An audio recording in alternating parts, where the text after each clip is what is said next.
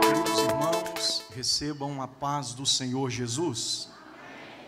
Que prazer estar aqui com vocês mais uma vez, desta feita, no encerramento da 38ª GO de nossa magna convenção. Quero ler um texto com vocês, em Filipenses capítulo 2, por favor. Leremos a partir do versículo de número 5. Glória a Jesus. Filipenses capítulo 2, versículo 5. A seguir, é o texto que eu pretendo compartilhar com os irmãos nesta noite. Enquanto vocês encontram, quero dizer para os irmãos que eu tenho aqui alguns dos meus materiais. Na saída vocês encontrarão aí os meus livros, Verdades da Vida de Jó. O seu futuro não será influenciado pelos traumas do seu passado. É a base do contexto deste livro. Também encontrarão aí José, os pesadelos de um sonhador. Vocês encontrarão também esse livro que a convite da editora Renascer do Rio de Janeiro. Eu fui escolhido como pastor mineiro para representar o nosso estado sobre o que será da igreja depois da pandemia. Então está aqui renascendo após a pandemia, ressurgindo após o cal, muito propício para esse tempo. E por fim, eu tenho aqui esse livro que é lançamento e recebi um presente muito gratificante do nosso presidente. Esse livro foi prefaciado pelo pastor Neemias. Né? Eu deixei para fazer o lançamento oficial aqui, porque o senhor me presenteou, me sinto muito honrado, viu, meu pastor? Obrigado de coração. Então o senhor já pega esse aqui, já fica com ele. Filipenses capítulo 2, versículo 5, vocês encontraram o texto? Se sim, manifestem-se dizendo amém. amém. De sorte que haja em vós o mesmo sentimento que houve também em Cristo Jesus, que sendo em forma de Deus, não teve por usurpação ser igual a Deus, antes aniquilou-se a si mesmo, tomando a forma de servo, fazendo-se semelhante aos homens. E achado na forma de homem, humilhou-se a si mesmo, sendo obediente até a morte e morte de cruz. Pelo que também Deus o exaltou soberanamente e lhe deu um nome que é sobre todo nome, para que ao nome de Jesus Cristo se dobre todo o joelho dos que estão no céu, na terra e debaixo da terra, e toda língua confesse que Jesus Cristo é o Senhor, para a glória de Deus Pai. Podeis tomar assento, muito obrigado, meus irmãos.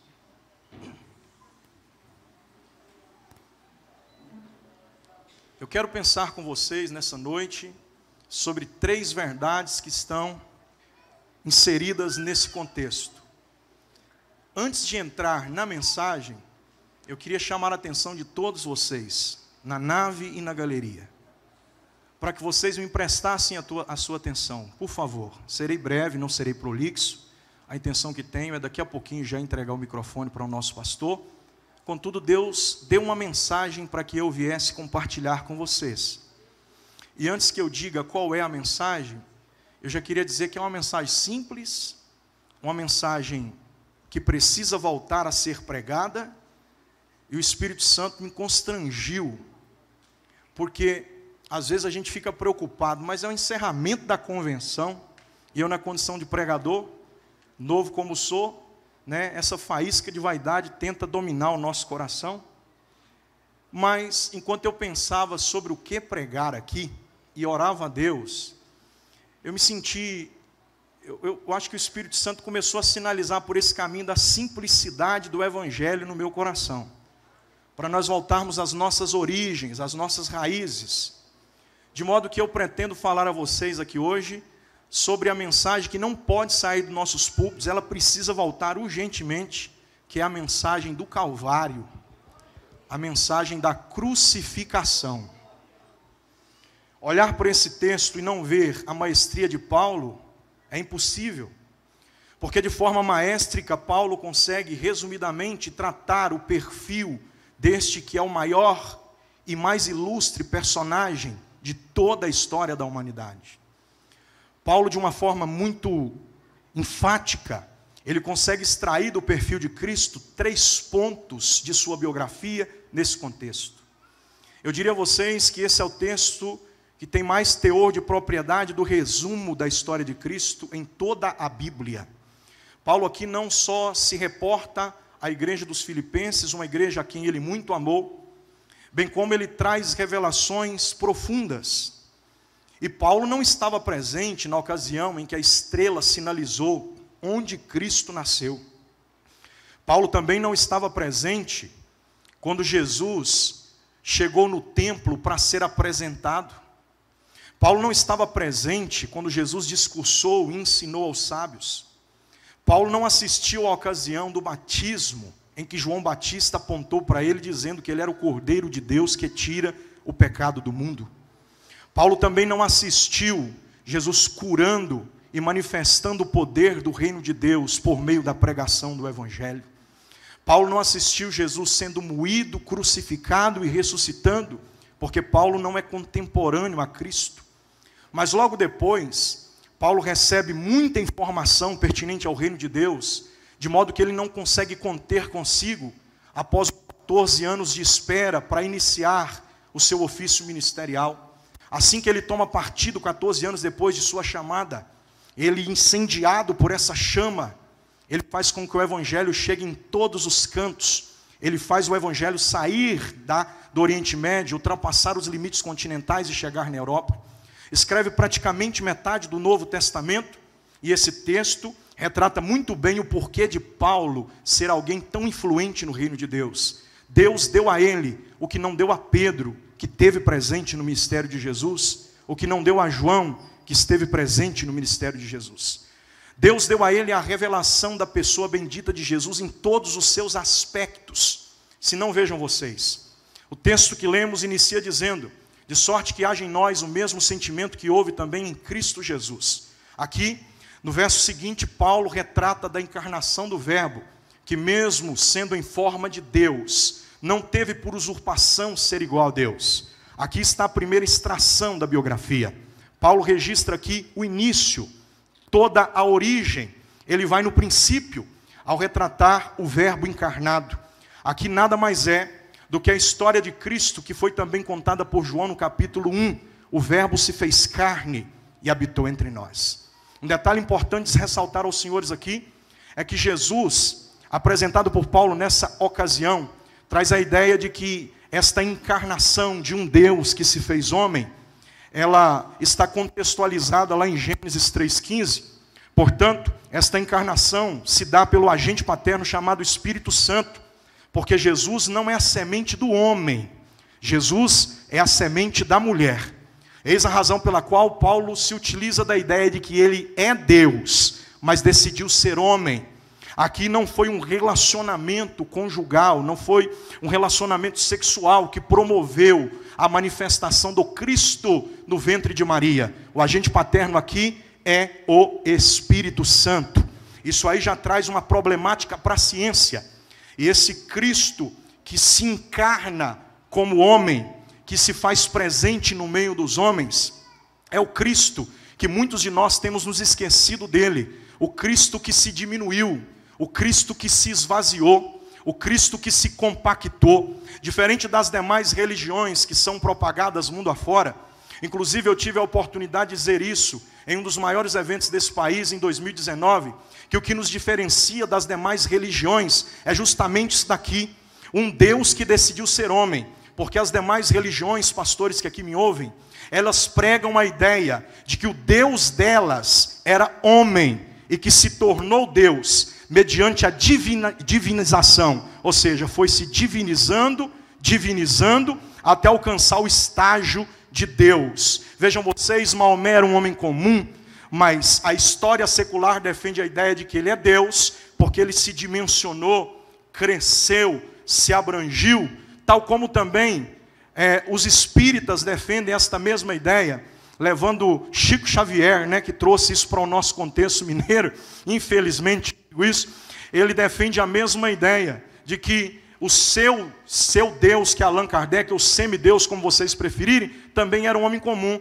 mas mediante a divinização, ele foi galgando estágios maiores. Assim também foi Buda, que era também um homem comum, e mediante essa divinização, foi galgando um estágio até alcançar o estágio da divindade. Mas isso quem diz é a história. O que Paulo está dizendo para nós é o paradoxo disso, é o oposto disso, anda na contramão disso. Porque Paulo não disse que o nosso Cristo era um homem que se tornou Deus, muito pelo contrário, ele disse que o nosso Cristo é um Deus que se tornou homem. De maneira que a gente subentende, pelo pressuposto que Paulo diz, que o nosso Cristo, ao invés de se aumentando, ele foi a se diminuindo. Isto aqui cumpre a teoria do kenosis, que pela etimologia quer dizer alguém que, mesmo sendo maior, decidiu ser menor para um propósito definido. E o propósito definido é salvar a humanidade. Se não fosse como Deus, ou melhor dizendo, se fosse como Deus, seria fácil. Se não me digam vocês mesmos, já imaginou Jesus descendo aqui como Jesus, como Deus, sem se encarnar, mamão com açúcar? Era fácil demais. É como tomar doce de criança, porque como Deus, Disse Isaías que ele ajunta todas as águas dos mares na concha da sua mão. Como Deus, ele enxerga todos os oceanos como uma gota d'água no fundo de um balde. Isaías achou que água na mão e gota d'água no fundo do balde ainda está muito grande para comparação ao Deus que nós servimos. Então ele diz: quem pode comparar-se ao nosso Deus? O nosso Deus olha para todas as nações da terra como um grãozinho de pó no fundo de uma balança. De repente Isaías percebe que água na mão, gota no fundo de balde, fagulha de pó na balança ainda é muito em comparação. E ele diz: para o nosso Deus a comparação é essa: nada é igual a nada perante o nosso Deus. A pergunta matemática que eu faço a vocês é essa: zero vezes zero, zero. Zero mais zero, zero. Zero dividido por zero, zero. Zero subtraído por zero, zero. Assim é todas as coisas diante do nosso Deus. Nada igual a nada, porque o nosso Deus é todo poderoso. Agora vejam vocês, como Deus seria mamão com açúcar, então ele veio como homem. Essa é a expressão introdutória da visão de Paulo em direção à igreja de Filipos. Mas não é sobre isso que eu vim pregar. Na sequência, Paulo diz que na condição de homem, ele foi obediente até a morte e morte de cruz. É aqui que eu quero chegar. Obediente até a morte e morte de cruz. A crucificação está implícita no contexto. É bom que eu diga a vocês que a cruz faz parte da história do cristianismo, que ela não pode ser um elemento apagado, porque foi por meio da cruz que nós conquistamos o privilégio imensurável de estarmos aqui esta noite. E Paulo não deixa a cruz fora dessa história. E o que me chama a atenção é que, em primeira ocasião, Paulo mostra o início, a encarnação do Verbo. Em segunda proposta, Paulo já fala da, do exercício de seu ofício ministerial, ao dizer que ele está obedecendo até a morte e morte de cruz. A pergunta que não quer calar é essa: o que Jesus obedeceu? Porque nós estamos falando de Deus, e como Deus, ele não tem que obedecer. Na condição de Deus, ele tem delegada autoridade para mandar, para subordinar. Mas na condição de homem, ele obedece. E o que ele obedece? Ele obedece às profecias. E como eu não tenho tempo para falar de quantas foram ou todas as profecias que ele obedeceu, eu quero resumidamente dizer a vocês que nas últimas 24 horas do seu ministério terreno, antes dele ressuscitar, ele, ele obedece pelo menos 25 profecias. Pelo menos 25 profecias estão registradas que Cristo vai obedecer até que ele suspire pela última vez no madeiro. E é sobre estas 25 profecias que Jesus obedece enquanto ele exerce o seu ministério que eu vim pregar para vocês aqui esta noite. Vejam vocês, Jesus, para cumprir toda a profecia, ele deve cumprir já pelo ponto da liturgia pascual, porque o culto pascual não se deu em Cristo, o culto pascual se deu na saída, no exílio de Israel do Egito, quando por meio da severa maneira de correção, Deus enviou dez pragas diante de Faraó e dos egípcios para arrancar seu povo com mão forte. A última praga, diz a Bíblia, que foi a morte dos primogênitos. Por ocasião, Deus faz com que os israelitas cheguem com o sangue do cordeiro nos umbrais das portas, para que por meio disso viessem obter livramento. E aí a gente entende nesse contexto, aqui nasce a liturgia pascual, porque aqui Deus estabelece uma das sete festas anuais que é celebrada até a data presente por todo e bom judeu, que é a festa de Páscoa. E quando Jesus estava aproximando-se de mais um dia de Páscoa, ele vai cumprir toda a liturgia cultural para que ele fique dentro da profecia pascual, porque Jesus nesse contexto você que não sabe, ele não é apenas o cumprimento das profecias, ele é a profecia que será cumprida, porque o nosso Jesus, ele é profecia, profeta e cumprimento da profecia. Digo mais a vocês: o Cristo a quem servimos, disse o anônimo escritor aos Hebreus, que ele se fez sumo sacerdote por nós. A Bíblia diz, segundo Paulo, que ele se fez alto estar no nosso lugar. João, no, o Batista, na beira do Rio Jordão, olhou para ele e disse: Eis aí o Cordeiro de Deus que tira o pecado do mundo. Com isso eu entendo que Cristo, ao mesmo tempo que é o altar, ele é o Cordeiro que será posto sobre o altar, e ele é o sumo sacerdote que oferece o sacrifício sobre o altar. Entenda vocês uma coisa: aqui Jesus vai cumprir toda a profecia, e para cumprir toda a profecia, os sacrifício pascual deveria ser entregue ao sumo sacerdote. Vem comigo e acompanha meu raciocínio. O sumo sacerdote, por sua vez, pegaria o sacrifício pascual, degolaria o cordeiro, aspergeria o sangue do cordeiro e salpicaria em suas vestes, para depois ele entrar no lugar santíssimo para adoração ao Deus a quem servimos. Agora vejam vocês, Cristo ele não tem uma esponja, ele não tem um cutelo, ele não tem um cordeiro, mas ele está disposto a cumprir a profecia. Na escala de 12 sacerdotes, era cumprida a liturgia. E como Jesus está na última reunião, segundo Mateus 26, e também João capítulo 14, nesta última reunião, Jesus vai fazer com que Judas saia porque ele é excesso. Para cumprir a profecia, tem que ser na escala de 12. A reunião é de porta fechada. Tá Jesus e os 12, significa dizer que são 13. Mas Jesus olha para Judas para cumprir a profecia na risca e diz: "Fazes logo o que tendes de fazer". Como que se dissesse: "Você é um excesso nesse contexto. Dá licença, por favor, porque agora eu vou cumprir a profecia pascual". Quando Judas se levanta, versículo 30 do capítulo 26, segundo Mateus, tendo ele cantado um hino, foi para o Monte das Oliveiras. Aqui Jesus está caminhando se, se, é, em direção ao cumprimento da profecia.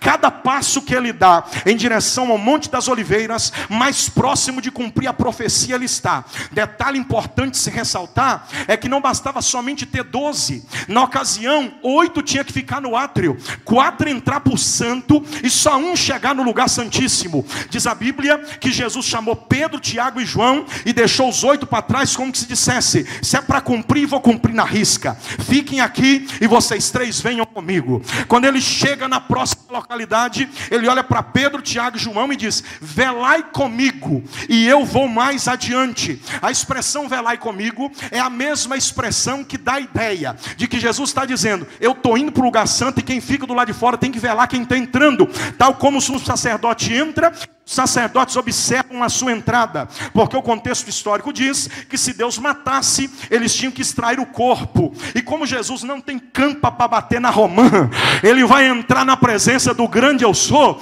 ele deixa os três e entra. O Arle, meu amigo, quando ele chega dentro Santíssimo, está faltando um elemento para o cumprimento da profecia, que é o sangue do cordeiro aspergido nas vestes. Diz a Bíblia que ele começa a orar. Enquanto ele ora, Glória a Deus, enquanto ele ora, a Bíblia diz que ele vai soando gotas de sangue, os seus poros capilares se dilataram, à medida que os seus poros capilares foram dilatando, ele foi visualizando o seu sangue escorrendo pelas suas vestes. Jesus salpicou as suas vestes, sem precisar do sangue de algum cordeiro, porque ele mesmo era o cordeiro para se salpicar. Enquanto ele está olhando para Deus e dizendo: Pai, se possível for, passa de mim esse cálice. Ele ao mesmo tempo está olhando para a humanidade dizendo: Todavia, seja feita a tua vontade e não a minha. Enquanto ele está nesse período de oração, ele salpica as suas vestes. Jesus está pronto para partir para o próximo passo do cumprimento. Só que quando ele começa a descer, o salmista vai dizer que aquele que ia levantar o seu calcanhar contra ele se apresentaria. Judas beija sua face, mas uma profecia cumprida. Os bárbaros, os soldados o prendem. A Bíblia diz que conduzem ele à presença de Anás e Caifás. Anás e Caifás por articulação, por trás dos bastidores, com desejo de condená-lo, mas não tendo voga, autoridade para tal, levam a ele, ele até Herodes. Herodes percebe que o negócio é mais polêmico do que imagina, manda para Pilatos. Isso volta. E essa sequência de vai para lá e vem para cá é Jesus sendo conduzido para cumprir mais uma profecia. A Bíblia diz que quando ele volta, eles têm a ideia de começar o castigo. Eles vão pegar Jesus, colocar na sala do castigo, no tronco central. Vão pegar a Zorrag e vão desferir uma quarentena de chicotadas. Vocês sabem muito bem que a Zorrag tem pontas de couro de cordeiro trançado. Em cada ponta de couro de cordeiro trançado, pontas de chumbo e osso. Osso quebrado. Aqui mais uma profecia se cumpre. Isaías disse: se nós olhássemos para ele, beleza nenhuma nele viríamos. É porque ele ficou totalmente desfigurado, totalmente dilacerado, totalmente arrebentado pelos golpes da Zorrag. E quando ele se levanta dali, a profecia ainda está no início, falta muita coisa para cumprir, porque o sacerdote que aspergeria o sangue do cordeiro nas suas vestes, deveria também pegar o cordeiro e levar ao altar para cumprir o Salmo 118 nos seus últimos versículos. Atai o cordeiro sobre as pontas do altar. Jesus é o altar, Jesus é o cordeiro, Jesus é o sacerdote, mas não tem sangue nas quatro pontas. Aí alguém tem a brilhante ideia: não é ele o rei. Se é rei, merece coroa. Pegar uma coroa de espinho de madeira de acácia dura, rígida como aço, colocaram na cabeça de Jesus, furaram o seu, o seu, o seu pelo capilar, foi dilacerada a sua fonte, começou a jorrar sangue. Quando o sangue começou a vazar no rosto, na face de Jesus, eles não entenderam o que estava acontecendo. Era Jesus cumprindo na risca sangue na primeira ponta do altar, pegaram a haste horizontal do madeiro, colocaram nas costas dele e disseram: Já que Barrabás vai ser solto e tu será condenado, carregue castigo. A crucificação não veio dos romanos, veio dos medo-persas. Então quer dizer que o furo da cava da haste horizontal do madeiro tinha sido feito antecipada, porque Jesus tinha uma estatura mediana e a história diz que Barrabás era maior. Significa dizer a vocês que para eles acoplarem Jesus no diâmetro exato do furo feito antecipado por Barrabás, exigiu que tivessem que deslocar fortemente as suas cravículas. Jesus está carregando a haste horizontal do madeiro nas costas, por uma via chamada Via Dolorosa, cerca de 600 metros. Quem não ama essa mensagem já vai dar vontade de ir embora, porque quem não gosta de ouvir Bíblia não tem paciência de me ouvir pregar. Jesus está caminhando na via chamada Dolorosa, cerca de 600 metros. Eu não sei quantas vezes ele caiu. Eusébio de Cesareia diz que foi entre 13 e 14. Sabe-se lá quantas? Pelo menos uma, segundo a Bíblia. Porque Simão Sirineu o auxiliou a levar a cruz até o Gólgota. Quando ele chega no Gólgota, com essa cruz que alguns dizem que pesava entre 30 e 52 quilos. E eu estou pouco me lixando com o peso que tinha essa cruz. Para mim pesava muito mais do que isso. Porque o meu pecado, o teu pecado estava acumulado sobre o seu lombo, sobre os seus ombros aquele dia. No alto do Gólgota, pegaram Jesus, colocaram a haste vertical anexa a horizontal. pegaram a mão direita de Jesus, transferiram um golpe, cravando com um cravo de ferro fundido, de aproximadamente meia polegada de espessura, diz a história. E aqui o sangue vai descer, gente. E parece que eu estou vendo o céu dizendo: sangue na segunda ponta do altar. Vão pegar a mão esquerda dele, vão esticar até caber no furo, vão cravar também. E aqui parece que eu estou vendo o céu bradando e dizendo: sangue na terceira ponta do altar. Vão pegar ambos os seus pés, unirem na haste vertical. Jesus vai ser pregado pela quarta vez. Ninguém está entendendo nada, mas a eternidade está gritando: sangue na quarta ponta do altar. Está todo mundo pensando que a liturgia acabou, mas para o processo litúrgico se findar e a profecia se cumprir na risca, para que ele seja obediente até a morte morte de cruz, depois o cordeiro amarrado nas quatro pontas do altar, com seu sangue pingado nas quatro pontas do altar. Tinha que pegar o cordeiro e jogar o resto do sangue do cordeiro na base do altar, no eixo do altar, para que o sangue escorresse sobre o altar. Jesus está lá pendurado, mas está vivo. Está cuspido, mas está vivo Está despido, mas está vivo. Espancado, mas está vivo. E aí mais uma profecia se cumpre para quem gosta de Bíblia. A morte por crucificação se dava mediante a um golpe de um dos soldados no femoral ou na canela, para que quebrando o condenado descesse com seu peso corporal, afogando a sua ventilação. Isto é, tampando a traqueia, oprimindo a laringe, oprimindo a faringe. Então a morte era mediante asfixia, ou seja, a falta de oxigênio. Só que aqui, para cumprir a profecia, a Bíblia diz que nenhum osso do seu corpo seria quebrado. Aí de repente, Jesus está lá. Isso que eu vou falar agora não mexer com você, eu vou ficar com medo de voltar para pregar em Betim, pastor. Porque se tiver alguém que não se emociona com o que eu vou dizer aqui, pode ser qualquer coisa, menos crente em Jesus. Depois de Jesus sofrer tudo que sofreu, aí ele está lá no Gólgota, ele resolve falar. Porque para cumprir a profecia, ele tinha que ser conduzido como ovelha muda, levada ao matadouro. Só que quando chegou a hora de falar, quando ele resolve quebrar o silêncio, aí ele resolve quebrar o silêncio mais ou menos assim. Jesus levantou sete vezes na cruz para se comunicar com o povo e com Deus. Na primeira vez que ele se levanta para abrir a boca, eu sinto o amor dele fluindo aqui nas minhas veias. Ele olha para todos que ali estão. Ele ergue a sua face em direção ao céu. Como a cruz veio pelos medo-persas, a haste vertical passava sobre a nuca. Significa dizer que para Jesus olhar para cima, ele tinha que comprimir ainda mais os espinhos da coroa na sua cabeça para ele conseguir olhar, mas ele não desistiu. A dor é aguda, mas ele olha. E quando ele olha, ele diz: Pai, perdoa eles, porque eles não sabem o que fazem.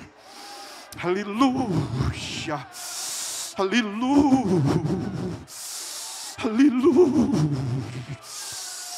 Aleluia. Mesmo você não sabendo o que faz, o seu perdão nos alcançou. Tem alguém aqui grato porque Jesus badou na cruz para o Pai nos perdoar.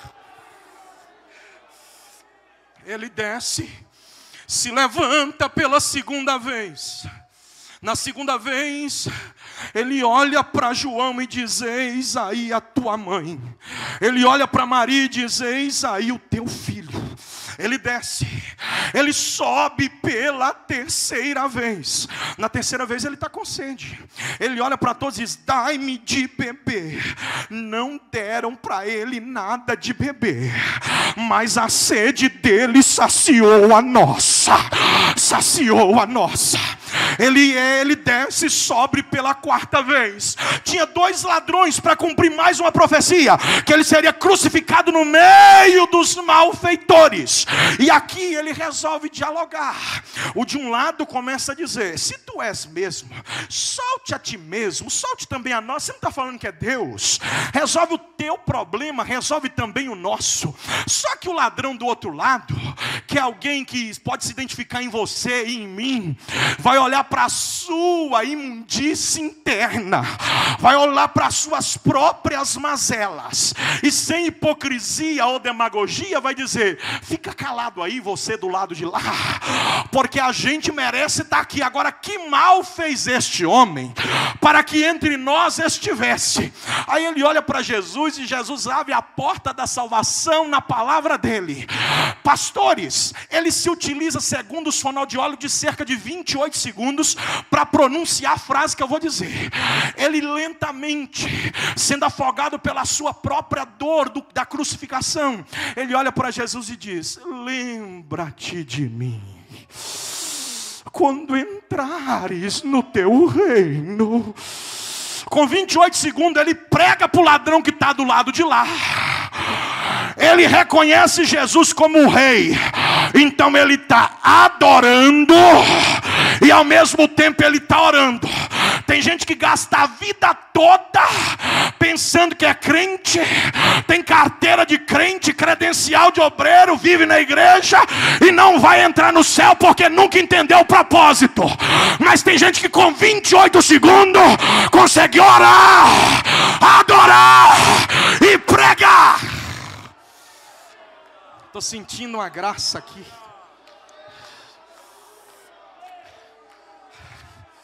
Estou sentindo uma paz de Deus aqui nesse negócio.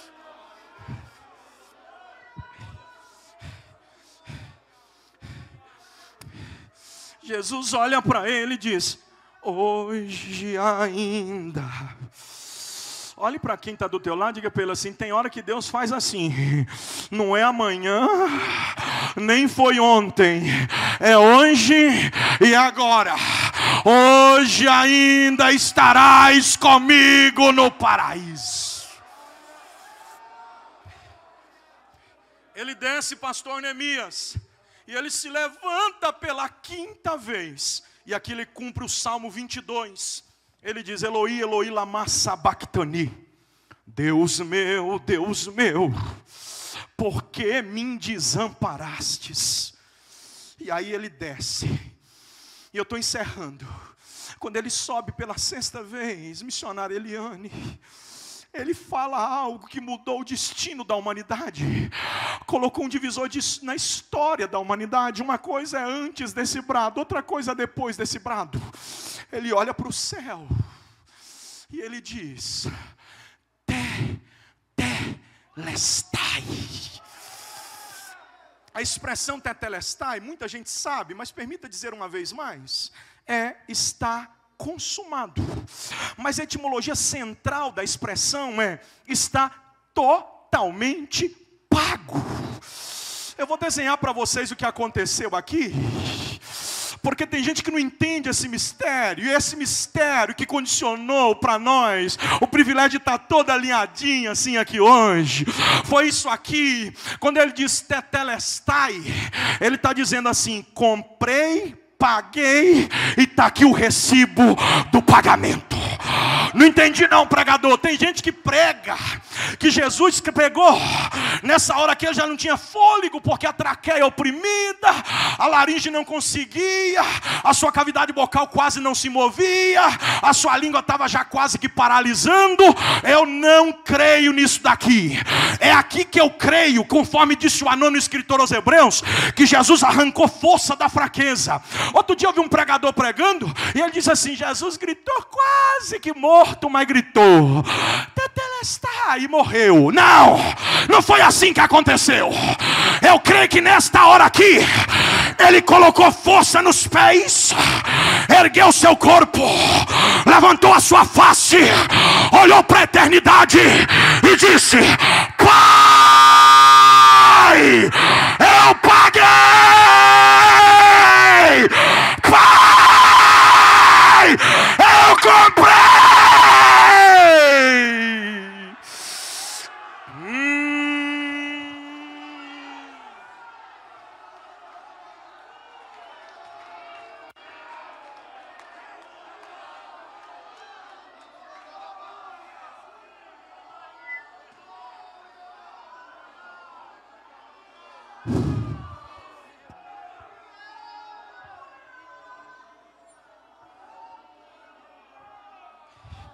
Jesus desce, se ergue pela última vez, olha para o Pai e diz: Pai, está consumado, recebe nos teus braços o meu espírito. Um soldado olhou para Jesus e disse: Eu nunca voltei daqui sem ferir ninguém. Transpassou a lança, o sangue desceu na base do altar. A profecia foi cumprida, sem faltar nenhum detalhe. Só que tem uma coisa, senhores obreiros: na hora que o sangue dele desceu, o sol, que é criatura de suas mãos, virou as costas para não ver a cena dolorosa. O céu se fez em trevas, a terra, que é criatura de suas mãos, quando recebeu a gota do seu sangue precioso sem pecado, expeliu mortos de seus sepulcros vivos, como que se dissesse: o sangue que desceu aqui não é de um morto, é do dono da vida. Jesus morreu. Morreu Jesus. E se a mensagem fosse só essa, não tinha razão pela qual estivéssemos aqui essa noite. E se a mensagem terminasse aqui, ô oh, saudade que os pregadores, gente. Eu falo com a minha alma sentida aqui. Por que é que os pregadores dessa geração preocupam-se mais com a agenda, mais com o nome, mais com o ibope, do que com a mensagem? A mensagem é essa daqui, gente. Jesus morreu, ressuscitou e vai levar a igreja viva para a eternidade.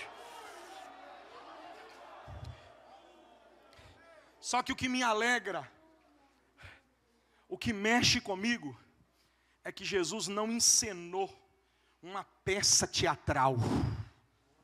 Jesus não seguiu um script de uma performance da religiosidade. Jesus se entregou. Não foi o diabo, foi ele. Não foi Anás, Caifás, foi ele. Ele falou: é, Eu mesmo me dou. Deus deu ele para a gente. Olha isso daqui, por favor. Sabe por que, que eu creio na vitória da igreja? Porque a igreja não parou no Cristo que morreu, a igreja inaugurou no Cristo que ressuscitou. A igreja não tem veias em seu corpo de um Cristo gelado, a igreja tem veias em seu corpo de um Cristo vivo e ressurreto, porque ao terceiro dia a pedra não conseguiu reter ele dentro do sepulcro. Agora escuta uma verdade aqui. Tudo que eu preguei, eu preguei na Bíblia, mas agora eu vou fazer umas aplicação rápida para me encerrar. Quem foi que falou com você que o judiciário desse país vai parar a marcha da igreja? Quem foi que falou para você que a gente depende do poder executivo ou do legislativo desse país? O nosso governo é teocrático, meu irmão. Ele tomou a chave até do barraco do diabo. Ele manda no céu, ele manda na terra e ele manda até no inferno.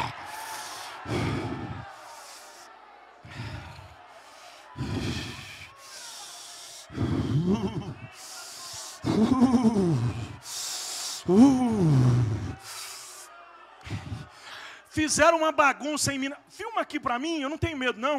A responsabilidade é toda minha do que eu vou dizer aqui, tá, gente? Ninguém tem nada a ver com isso. É tudo aqui, eu, Cláudio Calais. Cadê a câmera? Essa aqui? Fizeram uma bagunça em Minas Gerais disseram que ia parar aí com a ascensão da igreja, mediante a esse formato ideológico, para constrangir os nossos filhos a serem persuadidos por pessoas, pessoas de má índole, dentro de um banheiro sanitário público.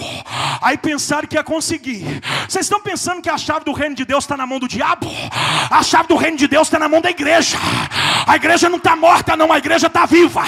O Cristo a quem servimos vivo está. Outro dia, pastor Neemias, eu estava lendo a Bíblia. Escuta essa daqui. O nosso Cristo está vivo, gente. Meu corpo está queimando aqui com a presença do vivo, grande sou.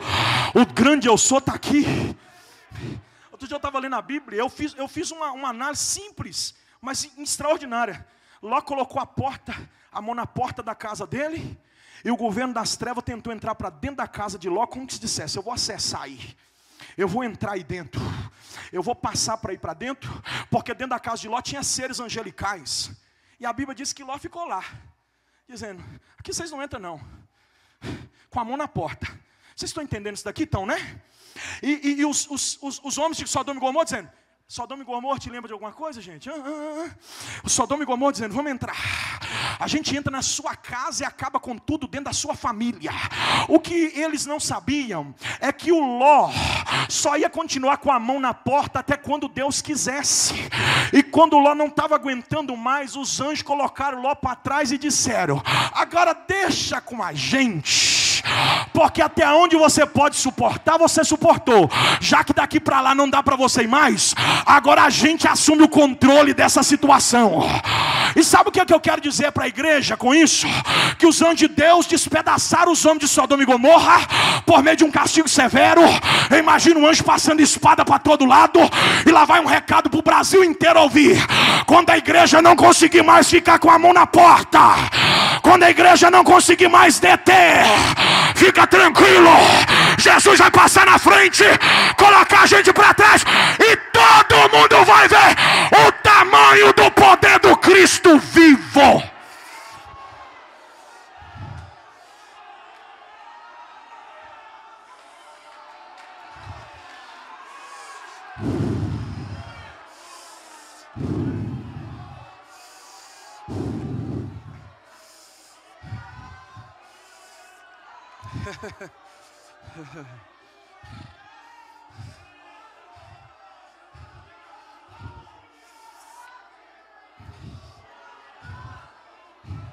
Estou sentindo que Deus vai fazer um reboliço aqui.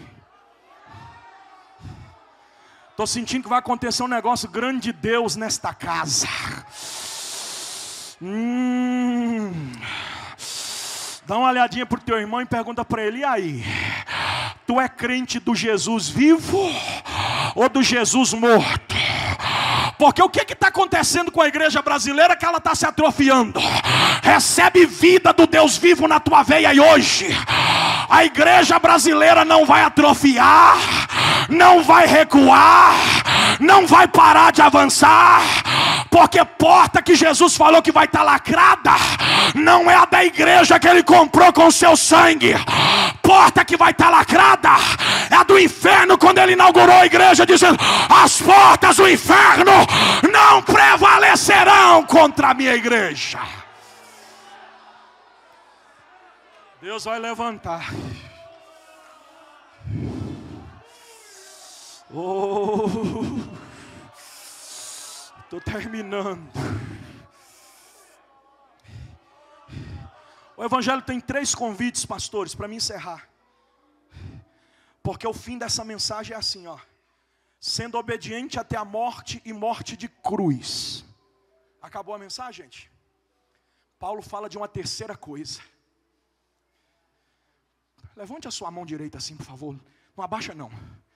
Jesus morreu, ao terceiro dia ressuscitou, e Paulo conclui a história dele dizendo: O Verbo se encarnou, exerceu seu ministério, porém, pelo que também Deus o exaltou soberanamente, dando-lhe um nome que está acima de todo nome para que ao nome de Jesus Cristo se dobre os joelhos dos que estão no céu, na terra e debaixo da terra, e toda língua confesse que Jesus Cristo é o Senhor. Fica tranquilo, haverá um coral daqui a pouco, não vai demorar muito para todo mundo, até os que estão perseguindo a igreja, até os que estão matando a igreja, todo mundo vai dizer: Jesus Cristo é o Senhor, para a glória de Deus Pai.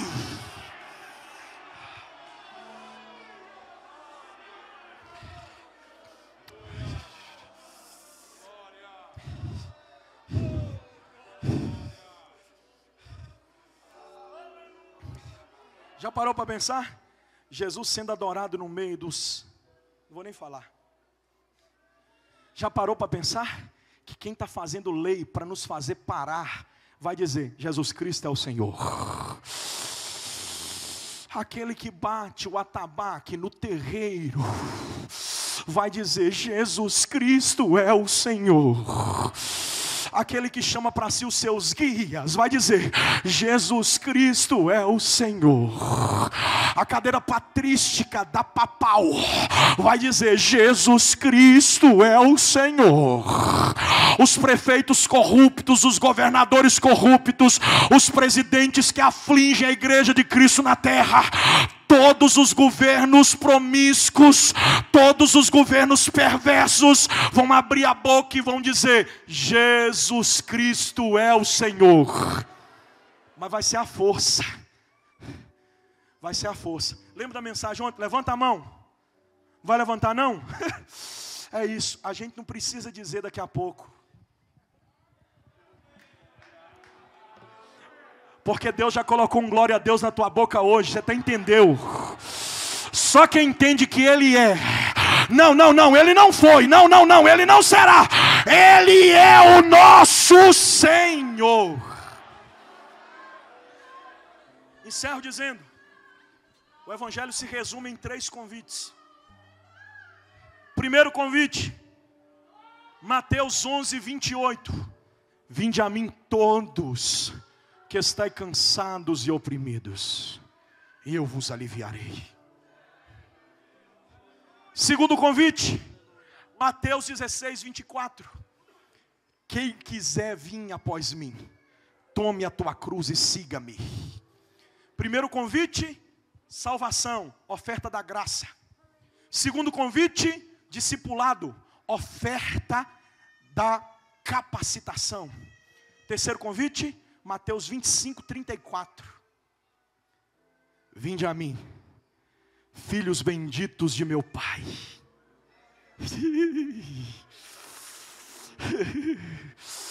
Entrai para o gozo do teu Senhor, pois vos tenho preparado desde a fundação do mundo. Sabe o que é isso aqui? Deus deu Jesus para morrer na cruz, antes de mundo ser mundo. Primeiro Deus deu a salvação Primeiro Deus trouxe a solução.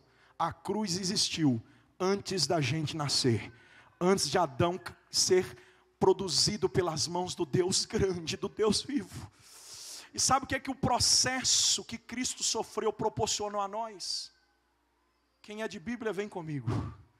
Apocalipse capítulo 5, a partir do versículo 8, principalmente o versículo 9 que diz: e ouvi um novo cântico que dizia: Digno és o cordeiro que foi morto e reviveu. Sabe onde se cumpre o culto pascual? O primeiro grupo de pessoas que cantou o cântico pascual foi os israelitas ao saírem do Egito. A segunda pessoa que cantou o cântico pascual foi Jesus em Mateus 26, 30, quando está escrito lá, se você ler, você vai ver. E tendo ele cantado um hino, ele cantou o Salmo 118. Só que o primeiro hino que Israel cantou, o segundo que Jesus cantou, proporcionou a nós um terceiro, e quem vai cantar é a gente. O nome do hino, Arle, eu não sei. A letra do hino também não sei, pastor Ribeiro. Pastor Elias, meu amigo, a única coisa que eu sei é o que está na Bíblia. E a Bíblia diz a respeito do seu refrão. E eu quero terminar esse culto nesta noite, dizendo que o que Jesus fez colocará na nossa boca um novo cântico. Apocalipse 8:1 diz a Bíblia que o céu estará em silêncio. Apocalipse 5:9 diz a Bíblia que a igreja cantará no silêncio do céu. Apocalipse capítulo 5, nos próximos versículos depois do 9, a Bíblia diz que haverá miríades de miríades e milhares de milhares de anjos que começarão a cantar. E o cântico que encherá o céu, encherá também a terra e atingirá também debaixo da terra. O nome do hino eu não sei. A letra do hino também não sei, mas o refrão está aqui. Digno é o cordeiro que foi morto e reviveu. Digno é o cordeiro que foi morto e reviveu. Vamos ensaiar, gente, esse culto aqui hoje? Tem alguém aqui que tem disposição de ensaiar o canto que a gente vai cantar quando no céu a gente entrar? Porque você está pensando que Jesus morreu na cruz simplesmente por morrer? Ele morreu na cruz para te salvar. A gente não é crente daqui, pastor Neemias. Eu sempre digo isso antes de ser pregador. Eu sou salvo em Jesus. Eu posso deixar de ser pregador um dia, mas eu nunca vou deixar de ser salvo, porque eu abro mão de qualquer coisa, menos da minha salvação. Eu estou indo para lá, gente. Se alguém quiser ir comigo, daqui a pouco a gente se encontra lá. Vamos ensaiar aqui essa noite. Pelo menos umas três vezes. Você tem disposição para isso? Minha alma está tomada de um sentimento de gratidão aqui esta noite. Oh, bendito seja o Deus da Bíblia. Levante uma das suas mãos assim comigo, por favor. Eu prometo que não vou pedir mais, só essa vez. Segura ela levantada e repita comigo: Digno é o Cordeiro que foi morto e reviveu, comprando para si todos os povos, línguas, tribos e nações, pelo seu sangue que foi derramado. Olha para aqui, olha para aqui, olha para aqui, olha para aqui. Repita forte assim: digno é o cordeiro que foi morto e reviveu. Mais uma vez, digno é o cordeiro que foi morto e reviveu. Digno é o cordeiro que foi morto e reviveu. Olha para alguém e diz: prepara aí. Daqui a pouco a gente vai cantar lá. Prepara, pastor Isaías. Daqui a pouco a gente canta junto na eternidade com Ele.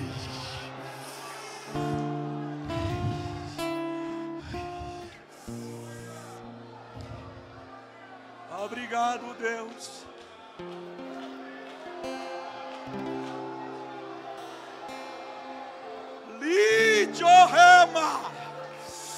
Lebaragaio rebadarasuri mi comanayateria. Remuti fotre. Calagaio torocolosia. Remaracanto. Rebrocho. Kemitria fácia. Laito rondrocolosia. Deus está descendo sobre a alma de alguém, e Deus me faz saber que quem é grato vai ser renovado, quem é grato vai ser cheio. Deixa eu ver quem vai, deixa eu ver quem vai. Os próximos 30 segundos é de lágrima, quebrantamento e gratidão. Deixa eu ouvir quem pode adorar a Ele.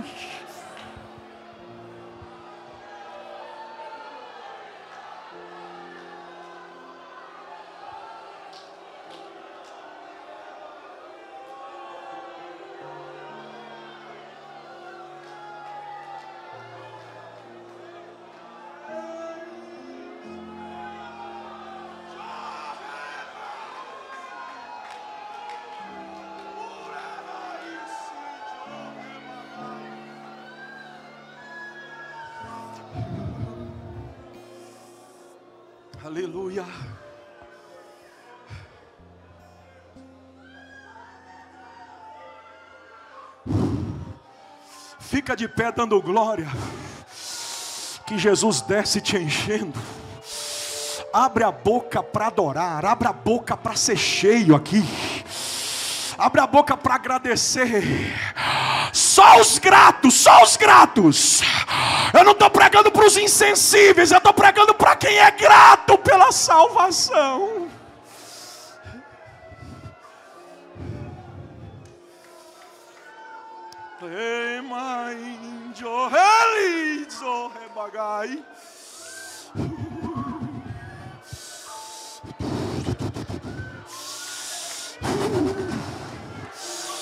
Vai descer um renovo aqui. Lorocotorocite. No meio dos obreiros, vai começar aqui do altar. Quem tem gratidão vai receber uma porção para conseguir enfrentar o resto do ano. Quem tem gratidão recebe e agora o que Deus está trazendo para essa casa. O nome do que Deus está trazendo é renovo, é renovo, é renovo, é renovo, é renovo. Leri, oh, magai.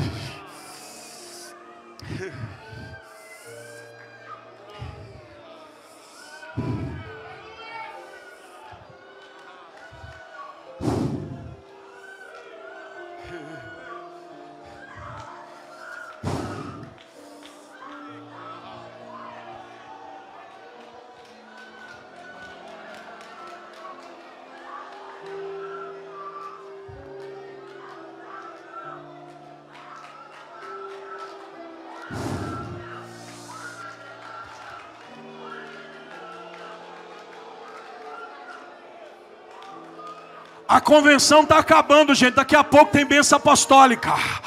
Se você tem motivo para agradecer, porque hoje você foi consagrado, a tua família te viu aqui, os obreiros. Se você tem motivo para agradecer, porque outro dia mesmo você estava no crack, na cocaína, na cachaça, na prostituição, mas o sangue de Jesus Cristo, o sangue dele, o sangue dele.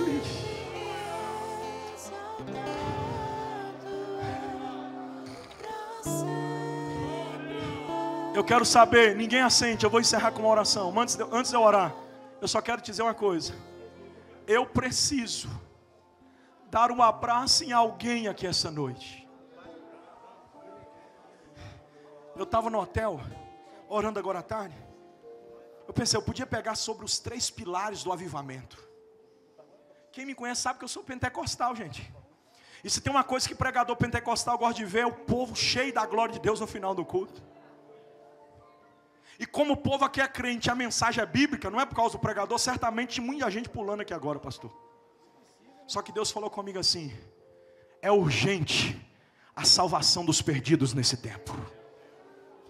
Eu vou voltar a pregar sobre Jesus e o arrebatamento. E se a agenda cair, não tem problema, Jesus vai ser glorificado. É melhor ter Deus assim para mim do que o homem. Se o homem fazer assim e Deus assim, eu estou limpo com ele. Eu venho essa noite dizer que esta mensagem pode não dar ibope, mas é esta mensagem que ainda fecha terreiro de macumba. Essa mensagem alguém pode não gostar dela, mas é esta mensagem que acaba com boca de fumo. Pode ser que a gente não aceite mais o ritmo desta mensagem na nossa liturgia, mas é esta mensagem que transforma a vida de todo e qualquer indivíduo que nele crer. Eu faço o convite. Deixa eu te dar um abraço, meu filho e minha filha. Eu te convido para aceitar Jesus como seu Salvador. Foi assim que a nossa igreja cresceu, e eu não vou desistir de manter o padrão do início da nossa igreja. Olha aí, pastor. Coisa linda, pastor. Eu estou esperando, chorando, gente, soluçando de chorar aqui, ó. Quem faz isso? O Cristo que morreu e ressuscitou. Cadê a segunda pessoa para Jesus? Eu vou descer para me dar um abraço. Me permite, meu presidente? Eu quero abraçar alguém aqui. Tem um monte de pregador nesse tempo pregando para ganhar dinheiro. Tem um monte de pregador nesse tempo pregando para ficar famoso. Tem um monte de pregador nesse tempo pregando para ter status. Deus me chamou do crime e disse para mim: pregue para ganhar almas. Pregue para ganhar almas. Eu estou esperando a segunda vida para mim te dar um abraço aqui, porque nós vamos ouvir a irmã Eliane cantar de novo. Sai do teu lugar correndo, porque o relógio não é nosso amigo, decida-se agora. O diabo quer continuar te embaraçando, mas Jesus disse: Eu já paguei a tua salvação. Cadê a segunda pessoa para vir aqui? Se vai descer da galeria, por favor, vem rápido. Gente, vocês precisam me ajudar a pregar agora. Olhe do teu lado, por favor e pergunte para essa pessoa assim: Tu já é crente, é? Não, não ouvi ninguém perguntando. Pergunta aí, vai. Tu já é crente, é?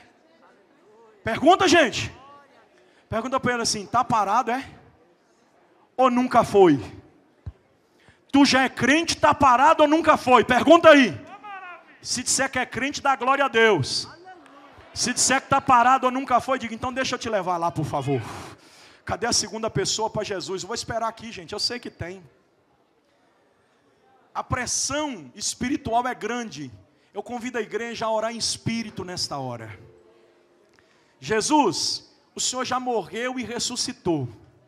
Esse povo é teu. Olha essa cena nos corredores, gente, por favor. Olha aqui, pastor Neemias, e Maragai, caiu de joelho. Ora bagara sorante, o remanasso. Está reconciliando. Orai, remagara sonde, o ré. Cadê a quarta vida para Jesus essa noite? Eu estou esperando. O meu horário já acabou, mas eu estou debaixo da bênção do presidente para fazer o convite. Então, cadê a quarta pessoa? A quarta pessoa. Eu estou esperando você. Irmãos, levante uma das suas mãos e diga assim: Senhor Jesus, solta essa vida. Tu tens a chave. Solta essa vida. Jesus, eu repreendo toda amarra, todo cadeado, todo bloqueio, todo embaraço, toda prisão. Ajuda, Jesus, essa vida a tomar essa decisão. Tome aí agora a melhor decisão da sua vida, em nome de Jesus. Tem crente aqui que está soluçando de chorar. Deixa eu dar um beijinho no você, meu filho. Fica firme, fica crente. Jesus morreu, foi para isso mesmo foi para acalentar a nossa alma, confortar. Tem mais alguém? Eu estou esperando a quarta vida. Vem rápido! Eu vou te dar 60 segundos finais. Está correndo o relógio. Eu sei que tem. Eu quero dar uma notícia para você que está parado. Escute o que Deus está falando contigo. Não fique pensando que vai melhorar para você. Porque olha onde você estava e onde você está. De onde você estava para onde você está já piorou muito. E daqui para frente não vai melhorar, não, viu? vai piorar ainda mais. E se você não quer que o diabo te mate e você morra sem Cristo, a oportunidade é essa. A porta da graça está aberta. Gente, filma aquele, aquela cena nesse corredor aí para mim. Olha aquilo ali, ó. Olha aquilo ali, o que, que Jesus está fazendo. Quando esse moço começou a caminhar, sabe o que, que Deus falou na minha alma, pastor? Eu estou trazendo resposta de oração para o altar da minha igreja.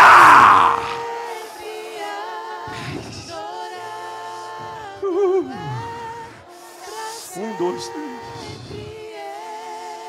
Estou esperando. É seu, é seu parente, é? Você lembra aquele dia que você cantou, eu preguei? Quem lembra? É? Você lembra que Jesus falou sobre o filho pródigo? Lembra? O bom filho volta à casa do pai. Já chegou outra aqui, ó. O irmão da nossa irmã da igreja aqui. Gente, dá glória a Deus aí, Jesus está salvando.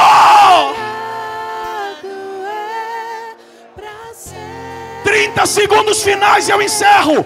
Sai do teu lugar agora em nome de Jesus.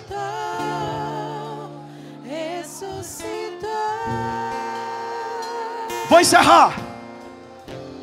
Fica firme. Vai vir. Dez segundos para você vir. Jesus, o que é, que é isso?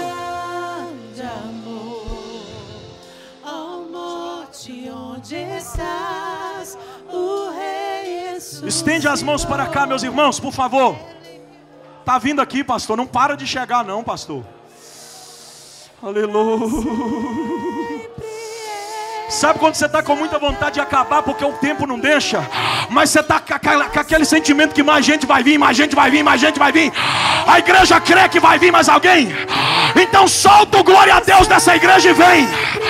Vocês prometem para mim que o próximo que vir, vocês racham de dar glória a Deus, gente. Então sai do teu lugar agora e vem. Libera o glória a Deus da igreja e vem. Sai do teu lugar e vem.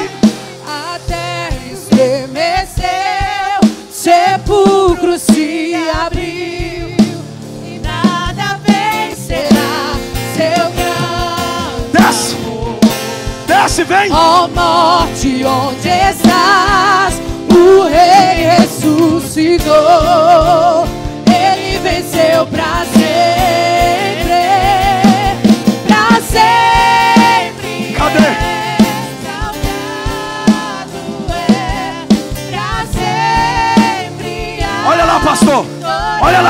de ó, não para.